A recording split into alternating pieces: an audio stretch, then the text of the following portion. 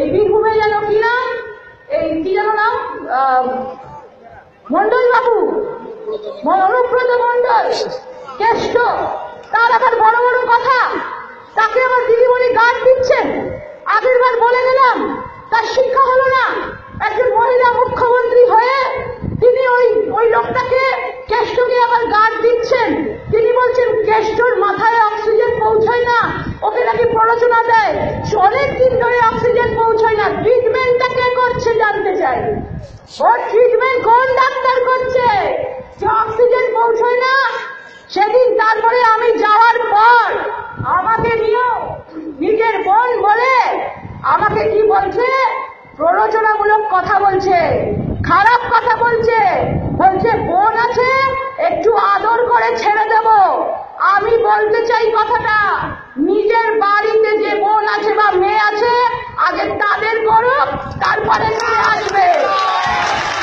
বেশি কথা বললে যদি এরা প্ররোচনামূলক কথা ওই লোকটার মুখ থেকে শুনি, আমিও প্ররোচনামূলক কথা বলব ওদের ভাষাতেই বলব মুখ্যমন্ত্রীর ভাষাতেই বলব চাপকে চোদ্দ করে দেবো একদম আবার এরা কথা যদি আমি পর বলে, চাপকে আমি চোদ্দ করে যাব যেন মাথায় থাকে কথাটা। যে মহিলাদের সম্মান দিতে পারে না, একজন মুখ্যমন্ত্রী মহিলা হয়ে তাকে গার্ড দিচ্ছেন, এত বড় সাহস? আমিও জানতে চাই, ওনার এত কোটি কোটি টাকা কিসের জন্য?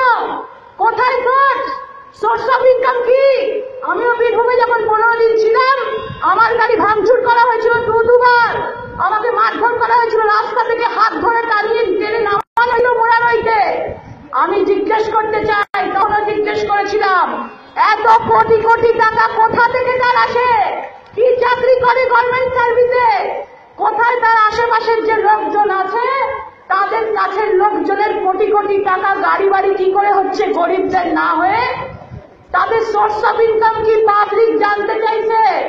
সাধারণ মানুষ জানতে চাইছে, ওই লোকটার আর তার কাছাকাছি আত্মীয় স্বজনের সোর্স অফ ইনকাম কি আছে? সবাই জানি। বালি খাদান আছে সিন্ডিকেট বাজি আছে, গরু পাচার আছে, কত কিছু আছে।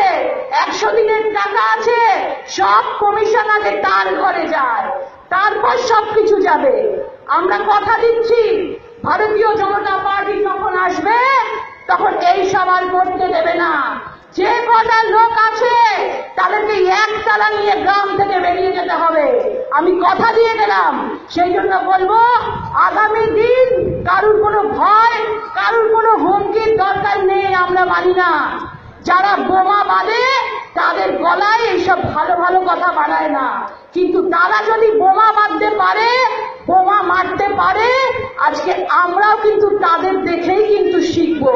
বোমা যদি মারে, তার উত্তরটা বোমা দিয়েই হবে। পঞ্চায়েতে যারা